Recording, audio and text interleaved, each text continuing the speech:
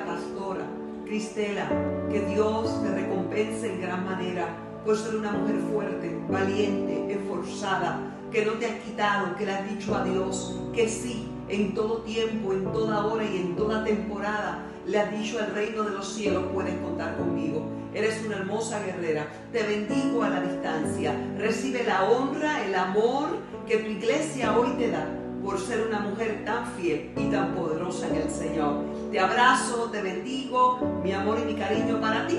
Y declaro lo que dice la palabra del Señor en Proverbios, que dice que vana es la hermosura, engañosa es la gracia, pero la mujer que teme a Jehová, esa será alabada. Así que recibe la alabanza que tu pueblo te da hoy con regocijo. Dios te bendiga, te amo.